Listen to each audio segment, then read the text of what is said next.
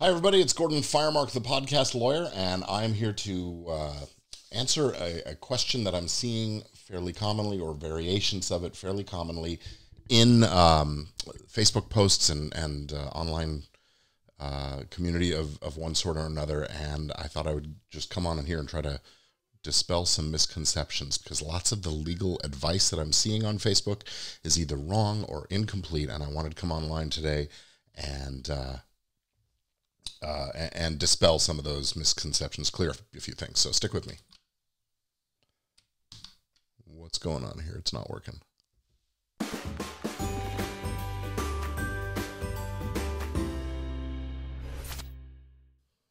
All right, gang. Hi again, Gordon Firemark here. The question that I'm addressing today is this one.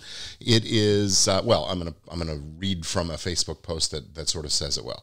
I'd love people's input about copyright implications of a podcast that reads short extracts from published works, poetry and prose. It looks like it's not allowed under copyright without express permission from the authors, which wouldn't really be feasible for my project. Thoughts about any loopholes or possibilities to, with integrity, sidestep permissions and requirements? Well, you know, as I said, lots of the advice that I'm seeing here on Facebook is either wrong or incomplete, and I want to get in, in here to clear things up again. First of all, I would say that looking for loop, loopholes and ways to sidestep permissions requirements with integrity is a bit of an oxymoron. Integrity means doing what's right under the law and what's right morally by the person or people who own the work that you're using. So, um, you know, I'm not trying to shame anybody, but let's just be really honest about what integrity means. Do do the right thing and, and get it right. So first, let me give you a few basics so that we have um, a perspective. So copyright protection in um, first, copyright protection comes from way back. It goes back to England in the um, in the middle of the I want to say the 15th or 16th century, uh, 17th century. Sorry, the 1600s. Uh, the Statute of Anne protected the rights of authors to retain ownership and control over things that they created. Uh, here in the United States, it's actually authorized by the Constitution in what's called the Copyright Clause that grants power uh, to Congress to um, preserve for the rights of authors and inventors um, for limited times the uh, exclusive rights to their uh, their inventions and uh, and works. So um, so that's where the Constitution authorizes it. And then, of course, copyright law has been established by Congress. It's federal law here in the U.S. Um, and most other countries have similar laws, and and uh, you know we are actually signatory to international treaties and so on. So most of what I'm going to say here applies across uh, international boundaries, with the exceptions that I'll mention, and and I'll I'll specify where U.S. law is a little unique. Anyway, copyright protection kicks in the moment a work is created. Now, there, under old laws, there were different rules, but since the early 1900s, when you create the work, you own a copyright from that moment of creation. There's no requirement anymore of registration or copyright notice or anything like that. And copyright protection lasts a really long time. For works created before January 1st, 1978, copyright expires the end of the 95th year following its first either publication or um, or uh, registration if, if it wasn't published for a while. So so basically, you've got a 95 year window. That is uh, anything created since 1925. For those who are counting, is most likely still protected under copyright. There are a few exceptions; things expired at certain points, and and um, and uh, if they weren't renewed properly and things like that. But most works created before, uh, excuse me, between 1925 and 1978 are still covered by protection uh, for up until the 95th year. And uh, and just to be clear on that, the end of the term is December 31st of that 95th year, no matter what the actual date of publication or whatever was. Now, works after 1978, so created January 1st or later of 1978, last the protection lasts for the life of the author plus 70 years. So theoretically, if you wrote it on January 1st, 1978, and died on January 2nd, 1978, you would have until, um, what is that, uh, uh, 70 years after 19, uh, 1978 would be um, 2048 would be the, uh, the end of that 70th year. So uh, there's your copyright protection. I think I did that math right. All right. So what is protected by copyright? Well, copyright grants the author the exclusive right to do these things or authorize others to do those things. That is, one, to make copies of the work, two, to distribute those copies, three to display, or four to perform the work in public, and fifth to make derivative works. That's works that are based on, in part or in whole, the original thing. So making a film from a screenplay is making a derivative work. Now, in our case, the, the hypothetical situation that we're talking about, reading bits of poetry or, or prose from published books uh, as a podcast, would be copying the work into another medium, performing part of the work publicly and making a derivative work. So that is an exclusive right that belongs to the owner of the copyright unless it is granted to someone else. Now, sometimes the owner of the copyright, the author, transfers it to the publisher or something like that. Most of the time, it's still the author. So, copyright infringement is to do any of those things without proper authorization. Now, one way to get that authorization is by express permission. That is getting the author or the owner to say, yes, you may do these things. And usually that's a license agreement. License and permission are almost interchangeable in this in this word. When we talk about licensing, we're really just talking about uh, the the act of getting permission to use something in a certain way, and it's tends to be fairly narrow tailored. You can do this, but not that. You can have it for this amount of time. You can do it in this medium, in this language, those kinds of things. You can divide up the, the copyright into very discrete little portions. So, express permission is the one we think of as licensing. And there's also some statutory position, uh, permission. That means that under the law, under the Copyright Act itself, Title 17 of the United States Code, there are a couple of, of uh, uh, authorizations that are built in. One is called the Teach Act. Teachers using a work for classroom purposes for teaching, not charging admission, not the concert or anything like that. But you know, if you're actually using it in the classroom, no licensing required, no permission required. That's an exception under the uh, under the current copyright law. Making cover recordings. If you if a, if a musical composition has previously been recorded and published, um, you know, a, a, an album released, then, um, or record released, I should say, then there's a compulsory license. That is, anybody else who wants to make a cover recording of that song, which is basically a derivative work, but without substantially changing the lyrics or the musical melody line and those kinds of things. That is permissible, subject to the payment of a royalty that's established by law. And um, if you're in the music business and you're doing um, cover recordings, you'll need to understand those rules. And then there's another one called fair use. Now, this is a principle that comes up under the First Amendment free speech principles and free freedom of press principles here in the United States. It was originally developed by the courts as a, an approach to balancing or, or, or um, um, you know, dealing with these countervailing principles. One, free speech, free press on one side, and the other, copyright, also authorized by the Constitution, which gives the Congress the right to say, you can't say that because it's a copy, right? So we have this inherent conflict. So the courts, over the course of the 1900s, basically, through the 1900s, um, uh, figured out a strategy for dealing with that, and that dealt with this four factor uh, analysis that, that I'm going to talk about in a second. Now, in 1976, when the Copyright Act was revised, starting in 1978, Section 107 of the Copyright Act says, uh, establishes this fair use as a as a literal defense in the Copyright Act.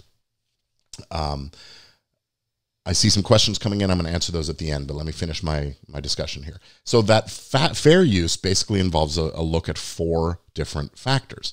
One is the purpose and character of the allegedly infringing work, and that's the one where people get this idea that that uh, well, if it's only if it's educational or it's criticism and commentary or whatever, or it's journalism or documentary, that that's enough and that satisfies it. That is only one of the four factors.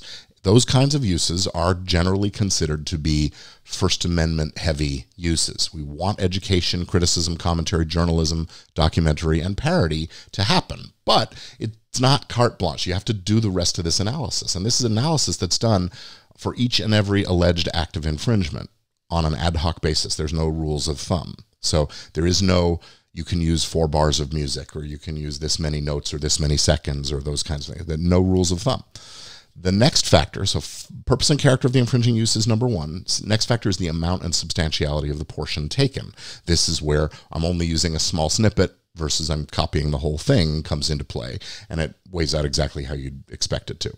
The nature of the original work is the third factor, and that really deals with, um, you know, is it is it itself a news kind of if you if you're stealing a piece of if you're using a piece of of news to tell a news story then that's the same kind of work. It's not going to be as likely to be fair use as if you're showing a picture of an artwork and you're talking about the death of the artist or something like that. Eh, as a news item that would probably be more toward fair use.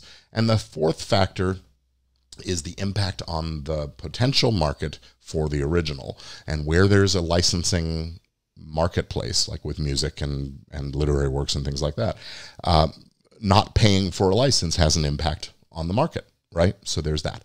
And then there's this fifth sort of um, I don't want to call it a spoiler factor, but it's an it's a fifth component to this analysis of transformativeness, whether or not the the use in question, the allegedly infringing use, is a substantial transformation of the nature of the work as a whole. So when it becomes very artistic, very creative, um, not merely changing from one medium to another, but also changing messaging and the overall tone and character of the work, maybe that weighs in favor of a finding of fair use. So that's a complicated analysis that you're going to end up paying lawyers to do for you and argue in front of a judge and or a jury. So keep that in mind. That's the only real way to rely on fair use is to let it go to court and, and defend the case.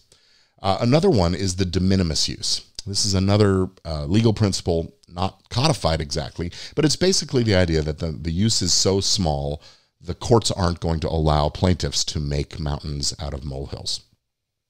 So that's the, the those are the sort of basics right there. So the bottom line here is you cannot use all or significant portions of any copyright protected work, whether it's music or film clip or poetry, literary, sculptural, architectural, whatever, unless that use is authorized either by the owner or by the law. And that by law category is, as I've just explained, pretty limited. Also, the fair use exception is a U.S. principle only. It does not really apply outside the U.S. Other countries have similar some other countries have similar principles, but um, you really, you know, you're, you're chancing it. So relying on these exceptions is a big risk because doing it means hiring a lawyer to defend you in the lawsuit. That is very expensive and a very big headache all around. So, I'm going to address a few comments and questions that I got when I responded in the in the Facebook posts. Uh, Tim O'Brien asked the question, "Well, how do you explain when journalists quote third-party source material and creative works?" And I explained that journalism, true journalism, is a profession and it has for itself clear guidelines that are based and, and sculpted by the law and by lawyers. so it's true that very short attributed quotes do sometimes fall within the exceptions.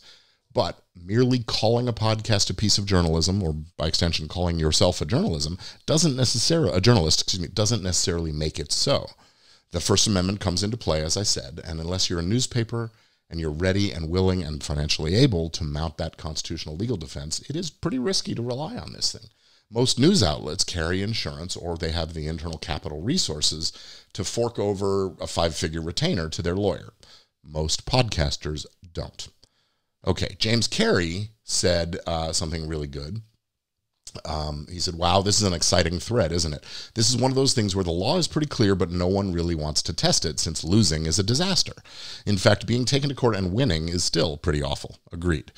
Overall, I guess that unless you're specifically critiquing uh, that particular work and that particular part of that particular work, you could be on pretty thin ice. So if you're doing a podcast about The Dubliners by James Joyce, you're probably okay to quote a few lines to back up a point you're making about the book but you're not okay quoting a big chunk of the book if the podcast is about something else and you want to create an effect. Or uh, just a side note, or if the podcast is about the Dubliners and you read a big chunk of it, also uh, an issue. Although I don't know if the Dubliners is still protected under copyright.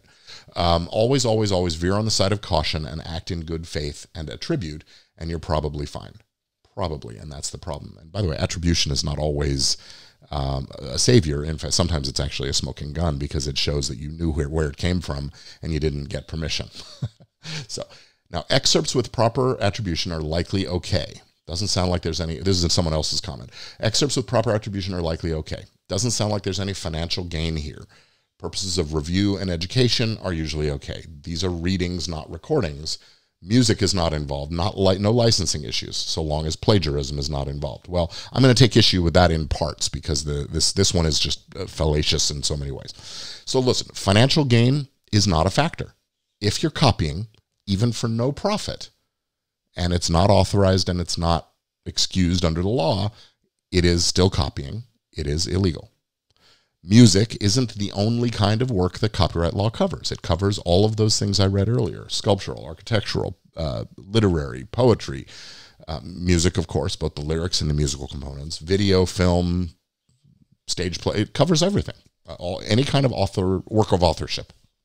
So, uh, as long as there are no licensing issues. Well, listen, as I said earlier, permission to use any kind of copyrighted work is what's called a license. License is synonymous in this instance with permission. Plagiarism. Plagiarism and copyright infringement are very similar concepts, but excuse me, there can be plagiarism without copyright infringement and there can be copyright infringement without plagiarism. See, plagiarism is more about that attribution, and it need not be actual copying. You could not copy any of the words, but express the same ideas in the same rough sequence and so on without infringing copyright.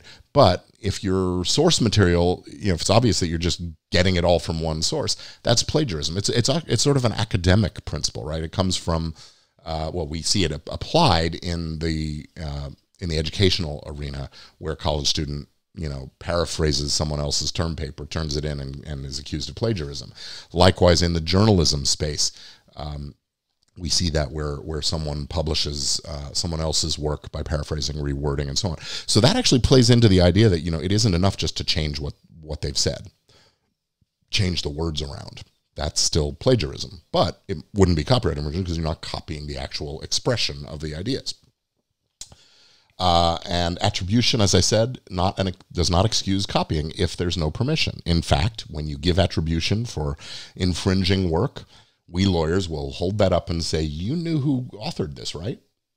Did you ask them for permission?" you know, there you go. So it becomes that smoking gun. Gus says, uh, I've reviewed two books on my show, and I've listened to countless episodes of other review book review shows, uh, or that, that review or quote books verbatim. You know, um, I think that unless you're reading those poems or claiming they're yours, I don't see any reason for legal action to take place. Unless you just sit there and read the whole book, I can't think of an issue. Well, I can, but that's my job. So, if you read a few things from a book in a way that reviews the book and the author's work, which then encourages your listeners to go buy the book, I can't imagine you'll get in trouble for it. Well, look, uh, as I said, fair use is what you're sort of talking about. You're, you're working around that issue of fair use. But look, not getting caught or not getting sued or hassled or whatever, no matter how many other people have done it, is not the same as it being legal.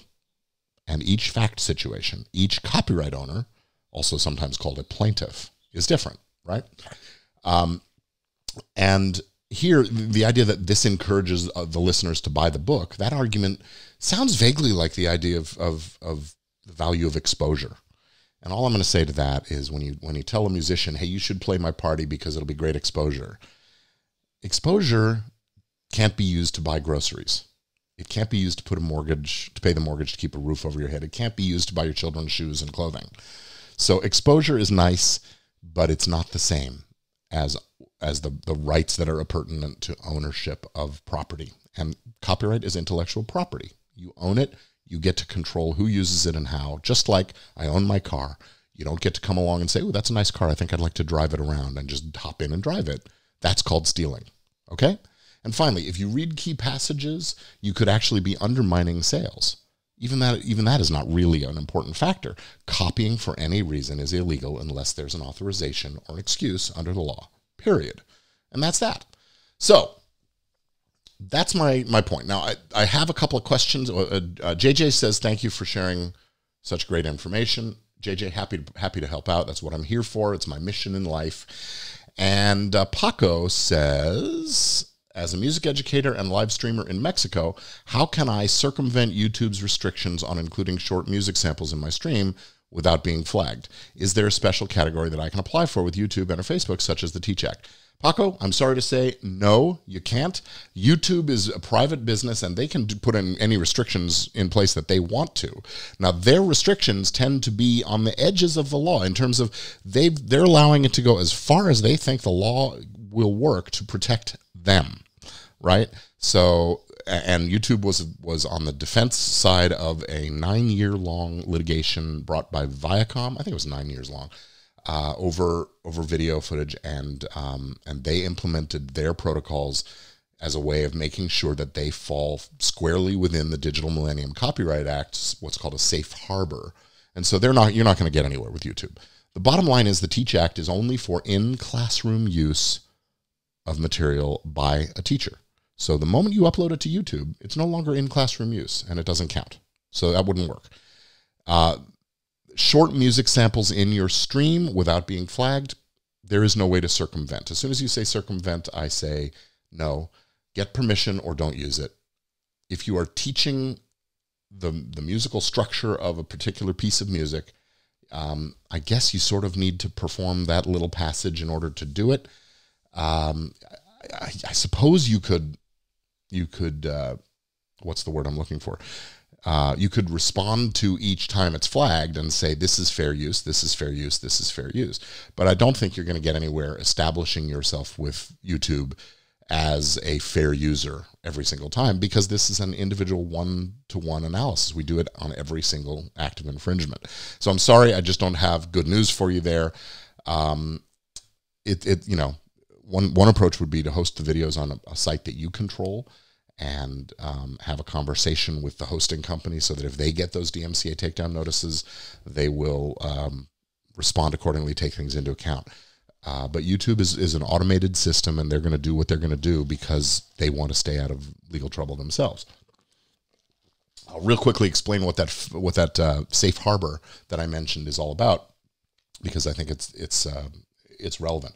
So under the Digital Millennium Copyright Act, this is the law that provides for uh, the takedown mechanism, right? An internet service provider company, an internet information service, can hold itself exempt and, and safe in that safe harbor from being sued for, for copyright infringement because they're making a copy too, right?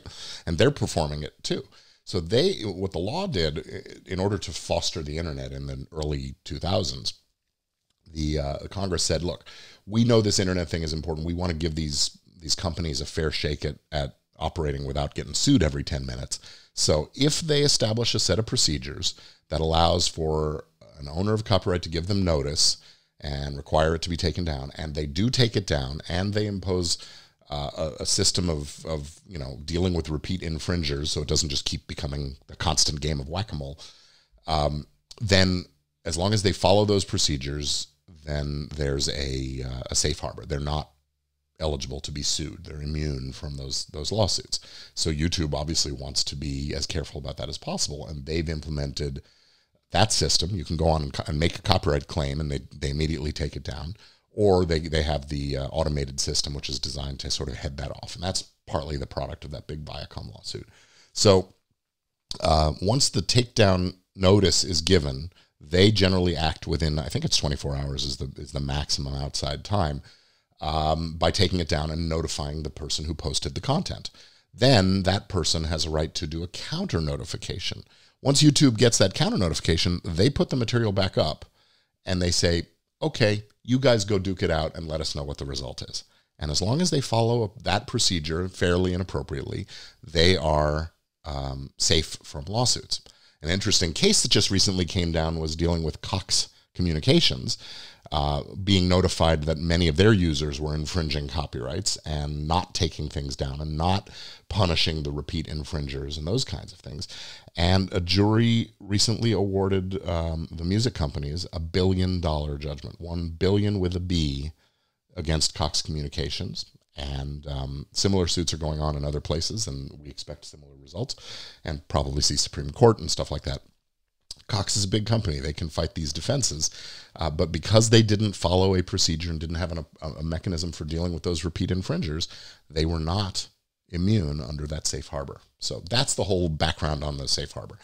I've gone on long enough. I think I'm probably into it for 24 minutes already. So I'm going to say thanks for listening. Thanks for watching. And uh, if you have questions about copyright law and other laws related to podcasting, please come join me. Oh, I should put something up on the screen and tell you a little bit. Uh, this coming Saturday, May 2nd, 2020, so if you're seeing this before May 2nd, you have an opportunity to attend my podcasters. Uh, where did it go? My podcasters legal and business boot camp. That's at podlawbootcamp.com. It's going to be Uh, Saturday morning, uh, California time, Pacific time. I'm in Los Angeles, so nine o'clock in the morning until we're done. Probably two or three hours worth of, of content. Um, the the podcasters business and legal boot camp, and we're going to be covering all kinds of goodies like forming your corporation or limited liability company, when you should do it and why you should do it, and how, I will show you how to do it yourself. Likewise, with um, registering trademark to protect your podcast title and uh, uh, protecting your intellectual property, as I've talked about here, as well as respecting the intellectual property of others. We'll talk about dealing with co-hosts and co-producers and ownership issues and and dealing with all your vendors and having good contracts and and also uh, the rules around advertising and sponsorships so you can get everything done right so you can monetize your podcast easily effortlessly and um, and uh, cleanly without fears about getting sued or getting in trouble with the regulators and those kinds of things so join me at uh, podcasters business and legal bootcamp on may 2nd head on over to podlawbootcamp.com to register the price is going up a little bit every day now between now and saturday so you're going to want to get in and register right away and uh, and get in there now. So, once again, thank you for watching. I'm Gordon Firemark, the podcast lawyer. Appreciate your being here with me today, and I look forward to seeing you again soon. Post your questions in the comments or start a new post on the page, and I'll talk to you very soon. Happy, happy.